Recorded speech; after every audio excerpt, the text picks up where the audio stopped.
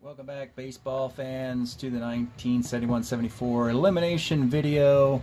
And we are going to eliminate the Colorado Rockies. They um, finished really hopeless against the Astros. They lost two straight by getting shut out twice, 3 nothing and 9 nothing. Very weak way to finish their season they, if you're wondering, weren't a very good team. And uh, last year they were 19 and 20. This year 16 and 23. Average fell. ERA rose. Um, just not a lot to hang your hat on. We got to start with the offense. This is a team put together, designed for homers, walks. They can tolerate the strikeouts. Just don't hit in the double plays. One of the weird things I see on here is the stolen base column that Don Money stole six bases. Thanks, Don, but you, I hope you weren't thrown out because that's just shortening an inning for this team that doesn't like to do things like that. Um, no 300 hitters, but the on base percentages should be higher than the batting average because of all the walks by a considerable margin. Uh, 230 with a 306 on base is not going to cut it. You want to be 70, 80 points better, I get it. You want at least a 360 on base for a team that's put together this manner, and it just didn't work out. I don't see anybody in double digits of home runs. The strikeouts are certainly there. Particularly Andy Kosco's futile year. He had eight homers to lead the club, an astonishing five walks and 45 strikeouts. That's what happens when you take an, a fringe extra platoon player and you make him play every day. It can turn out bad, and it turned out bad this year for Colorado. Um, Rick Auerbach's card is a 340 card. He hits 286 with it. Kingman 278. Every hitter underachieved. Money, Rick Monday, there's nothing there. Um, if all the offense is failing, I doubt seriously that your pitching is going to bail you out. But let's give you a, a, a silver lining here. So Jim Shellenback, that fantastically named reliever, you know, folks, he had an ERA around one a year ago, and look at it again this year. 138 ERA, two years in a row for Jim Shellenback. I take everything back, Jim. You've been outstanding for a terrible team. With a 138 ERA, Ron Klimkowski required in the offseason, he had a nice year. Mel Queen, the closer, went to the All Star game. So don't bang on the bullpen here. Look at the innings pitched. And I might want to add that right now, this team is leading in the clubhouse, as I like to say, um, watching the TV, see what else happens. For the Commissioner Award, the award given for roster utilization, that's where you take the lowest amounts of innings pitch times at bats, and the team with the highest number gets a compensatory pick in the draft next year, the 33rd pick in the draft. You basically trade your eighth round pick for arguably the first round pick in the second round, or the first pick in the second round. So. And right now, Colorado could get that pick, and that, that would certainly help a team like this. Dick Drago had a really terrible year. John Cumberland, a guy, lefty we really like, he had a bad year. Yeah, it's, I don't know what to say. I don't want to bag on this team anymore. They're an expansion team, and it, these expansion teams are experimental. Let's take a look now at the cards of the Colorado Rockies. That Yeah, these are, you know, we're seeing that. Um, in this timeline, when there's only 24 traditional major league teams, building an expansion roster has been pretty difficult because, look, Johnny Bench is not going to play for anybody but the Reds. Willie Stargell on the Pirates, Henry Aaron on the Braves, Brooks Robinson on the Orioles. You get the idea. The stacked traditional major league teams are going to stay stacked. And it's hard for these expansion teams to get, well, almost impossible to get a Hall of Famer but it's also difficult to get any All Stars. And so you have to hang your hat on finding ex, uh, extra player cards with limited at bats or innings pitched that played to, you know, statistical anomalies and tore it up, aka like 77 Roger Freed with a 398 card. You know, that's what these expansion teams need. So this should be 871s that we want to put away. And these are your 12 returning Rockies for, for next year. And they look like they're going to go with a 7-5 split, which is the balance you want, so that you don't have a you're not looking for too much hitting or pitching in the draft. And here we go with these uh, Sunday Beer League softball hitters. And we got a bunch. Uh, let's see.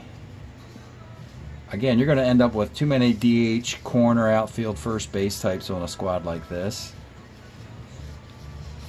Oh, boy. I'm just trying to get some semblance of order here.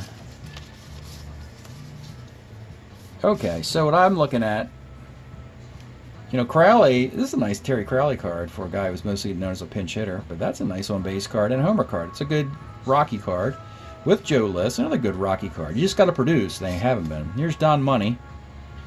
One at third base. They don't really need that, but they have it. And a B stealer. They don't need that either. And an A bunter and a B hit and runner. They don't need that either, but they have it. so, yeah, that's a full season of Don Money, who was a brewer. And they love this guy, and he's going to play his whole tenure here with the Rockies because he's like one of the foundational players. Here's that Auerbach card. We mentioned it. 342. See that? You need a bunch of these guys, not just one. Let this dude play every day, make a ton of errors, and get on base and help this team, you know. Here's Rick Monday. He had a terrible year, but that's a heck of a nice card. 26 bombs for the Cubbies in 73. Really hits righties well. Great defense still. Drew Lahoud looks like that Terry Crowley card. This is with Boston, I think. No, the Brewers. 12 home runs, half a season. You know, typical Rocky. Here's Andy Kosco. So this is what happened. You notice there's no walks over here. So that's the problem. He hardly, he never hit this at all. Or maybe once or twice, if that. But he hit this a ton, folks. And he struck out a whole bunch this year, and it really hurt his team. He's coming back. And now the five pitchers. Well, here's our guy, man. This is the card that's done it. The 1972 Texas Ranger Jim Shellenback card is pitched out of his mind the last two years. Well, maybe next year you can go three for three because your team's certainly going to need you. Put you in the bullpen there. Reed and Drago in the rotation. So Reed and Drago can go on three days rest. Fitzmaurice can pitch on four days rest. You can slide Merritt as a lefty in the rotation, or you can put him in the bullpen. He's not particularly great either way, and Shellenback. At least they have two lefties there. So it's a decent split, seven hitters and five pitchers. So they're not really short any particular, you know, area. I didn't see a catcher there, and and maybe one more lefty uh, left-handed pitcher. But otherwise, it's it's just not that you know, it's just not that big a deal for the Rockies right now to go into the off season and build back build back this team. So let's take a look what the Colorado Rockies do with those eight players from 71. Do they keep them, waive them, retire them, or trade them? Okay, let's take a look at what these Colorado Rockies are going to do with their eight guys that are missing. First one is Jack Hiatt, one of the two catchers they had. Good guy for on base percentage for this Rocky team, which is why they went out and got him. Had a bunch of fine years, you know, for the Giants. Then he bounced around after that, and uh, he's going to wrap his, up his career in '72. But you see, 69. Look at the uh, gain of on base over batting average. You know, he's 156 points better, and then here you, you see he's 120 points, and then you see it keeps on going. He's he's got a huge gap of on base. The 71 card we have to put away. He has one more year left in his career. He splits it with the Astros and the Angels. Total numbers look pretty good. Again, a 350 on base, 257 hitting catcher. However, does this card exist? We have to go look and see if his Houston or California card exists in the 72 set. We're going to go to Gary's roster page, pull up the um, the 72 rosters original first edition. And I'm going to look and see if Houston and California have um, Mr. Hiatt. Start with the Angels. No Jack Hiatt there. One more crack, and to have to say goodbye to him. Edwards and Howard. And we look at the Houston extra guys. No more Jack Hiatt. So sadly, he, had, he did a nice enough performance to get him draftable, but Stratomatic does not print the card. I don't. I retire him. I don't go with one of those nameless cards. So no more Jack Hiatt his career. We'll have to go into retirement. Next player, Phil Gagliano. Filled an infield spot. Was a Red Sox, maybe a red. I think he's got at least one more good year left from 63 to 74. He's got a Cardinal hat here. Phil, yeah, he would have been in the 67 and 8 series there, utility guy. And here we are with Boston and Cincinnati. So we had this 324 card. And it didn't hit any home runs, which is not what Colorado wants, but it has a ton of on base. That card is gone. However, there's a 290 card coming up in 73. That card exists. I'm making this guy a keeper because I want that 290 card. Uh, does he get waivers? as an option. He, to get waivers, you have to have a card in year one, which is 72, with Boston. 72 Boston, Gagliano, does he exist? Look at Boston. Infielders, Gagliano. We'll look here at their extra players. Gagliano exists. Okay, well that's good news. So we have a waiver option, but he's a be a nice little pickup for somebody on the waiver list. Let's make him a keeper for now. And if we find we, there's four guys we like more than him, we'll push him into waivers. Next guy, Dave Kingman, folks. And oh boy, his average is going to really take a dip over the next decade or so. um, so here we are with Dave Kingman. Uh, the prototypical, you could say. Um, Colorado Rocky. So he took his rookie year, or partial, uh, 41 games in 71, hits 278, and then he hits 288 eight years later. In between, there's a lot of swinging and missing, and occasional home runs and so forth. So he's got his biggest home run tally is 37 and 76. He's an All-Star. He was in the All-Star game in 76 against uh, like Mark Fidrych and so forth. That was in Philadelphia, uh, Bicentennial. Uh, MVP in 75 and 76 for your Mets. But he's also got a good year with the Giants, even though he had 225. So, yeah, he's going to be in the league. He's got to be a keeper. Um, and as far as the, the Mets wanting to go after him, I'm not exactly sure that would be the thing the Mets would want to do in the off season. They have their own worries right now. Uh, I've already done a Mets elimination. They have too many of their own guys' contracts up that I don't think they're going to import or want to import Dave Kingman yet. So it looks like he might slide to Colorado for a nice chunk of time here. It would be a real ruse for these Rockies to somehow stretch the 71 Kingman into like 75 and then have him go eight years all the way to his 79 performance with the Cubs. That would be a heck of a, a get for the for the Rockies. And you know what? I think the Rockies need to do that. How else are they going to compete? I mean, Kingman's no no Hall of Famer, but he's he's on the Hall of Notoriety. He's he's on everybody's list as here's that guy who hit 400 some career home runs. Where's the number? 442 career home runs for a Colorado Rocky player. That sounds like lifetime achievement right there. And I've, I said before on these, when a guy packs a suitcase and travels around a lot, San Francisco, the Mets, Padres, Angels, Yankees, Cubs, Mets again, Oakland. When a guy travels around like this, expansion teams want to hold on to them and say, hey, stay put here. Build yourself a house. Uh, you know, you can stay in Colorado. We got the no humidor. Uh, we got all your home runs are going to go really far. So yeah, I think Dave Kingman might be might be the newest lifetime Rocky. Next player, J.C. Martin. This one's going to be tricky. As he's got the initials here. Oh, for Pete's sakes. Dot here. Dot there. Will that work? Will that appease this thing?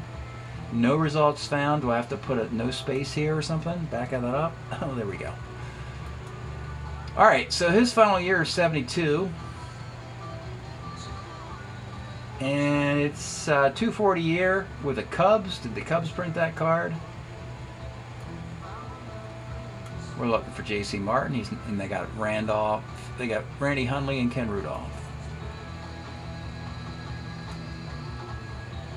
Yes, so J.C. Martin's extra player card of 72 exists.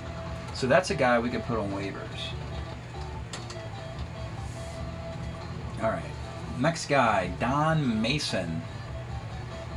Is a very interesting defensive player who is often a 2E41 at second base or some ver very good range and horrible E rating. So figure that one out. He got to just about everything but then he threw it at the first baseman's head. You could find a card of Don Mason in 69 with a 2E41 and he was a 2E30 this past year. In 72, he in 70 he, his career is over, so he's only got 12 at bats. They're not going to print that card, so he gets retired. Don Mason, thank you very much. Enjoy retirement. So that's the five hitters. Now the pitchers. Cumberland. Oh, we really like this card, but it is expired. 68 to 74. Can you do it one more time? Cumberland 71 card. There it is. 9 and 6, 292 and 185 innings his best year. Give me one more year. Can you do it for me? And the answer is no. No. I'm not even going to look for waivers for this guy because he's awful. 864 guy on waivers. Yeah. So we'll retire Cumberland. He, he might actually have a card. I, I, I did uh, for you the Giants or Cardinals, just to just to uh, keep my retirement list low. Giants or Cardinals, Cumberland. We'll look at that. that should, they should be alphabetically pretty easy to find here. Oh, Cumberland's got a Cardinal card, 72, so he gets waivers. So yeah, this is what I was talking about. You want to avoid the retirement lists because if you have too many retirements, then your waiver pool shrinks. So you want to make your waiver pool as big as possible. If the waiver pool gets large, you just look at the worst statistical guys like Cumberland, and then you slide them in retirement. But before we do that, let's put them on waivers, just to make sure we have enough guys. Ron Klimkowski. It's a nice looking card here for the yeah, a couple nice cards in this era of 69 to 72. Didn't have a long career, but he had some nice cards, believe it or not. I used several. So I used the 70 card and the 71 card, used them both. You look at the performance, it's pretty good. In 72, 31 innings for the Yankees. Probably not, doesn't get a card. Let's go take a look. 30 innings for the Yankees. Do you get another card? under the Yankees. He's not there. Extra players. Not there either. So he is on retirement. So that was the last of Klimkowski. Thank you, Ron Klimkowski, for your short little career. It was very effective for a couple teams. And lastly, sadly, Mel Queens, his string of going to the All-Star game as Colorado's lone representative might be coming to an end. He was a um, Angel. As a lefty, had some nice years here. 69 had a uh, two, uh, two and a quarter year right. Here's the big year of 71. This is the card we were using. Had a 118 whip and a 178 ERA. That'll get you into the All-Star game. But in 72, he has 31 innings for the Angels. Does he get waivers? He does. Before we put him on waivers, we might think of keeping him. So this small sample size card exists, and before we pass judgment, I would wait and take a peek because I realize the whip is bad, 161, but he throws left-handed, and every left-handed pitcher is looked at in the draft. If you can get a handful of lefties out, um, you're getting into the league. So right now, boy, it's a real tough thing to. This is not final by any means, but I'm gonna. I'm actually gonna keep this guy until we actually take a look at. Um, until we actually take a look at. Oh, he's right-handed. That's forgot about that. My bad. He bats left or his right. Sorry about that. As a right-hander, it changes a little bit. As a right-handed pitcher, a guy with a 435 ERA and a 161 WHIP is a dime a dozen. So, sorry about that, Mel. Got ahead of myself there. Now he's on waivers. And this is not a good offseason look for the Rockies. They have two guys they like, but six guys to go on waivers or retirement. So they got to get on the phones. They got to find some talent in this. And uh, other teams have too much talent, and they got to find a couple guys, and they're going to have to offer some of their guys in a trade. Um, they could offer. Well, Dick Drago can pitch on three days rest. Somebody might like him. The Kansas City Royals might like him as they're starting to build a contender. Um, Fitzmaurice is a nice card. Again, Kansas City would like him. Um, Joe Lahoud's got a nice card, and of course Kosco. Yeah, I don't know who they're going to deal, but uh, they need to find two more keepers this offseason. So that's it for the Eliminating the Colorado Rockies. Thanks for checking this out, and we'll see you next time.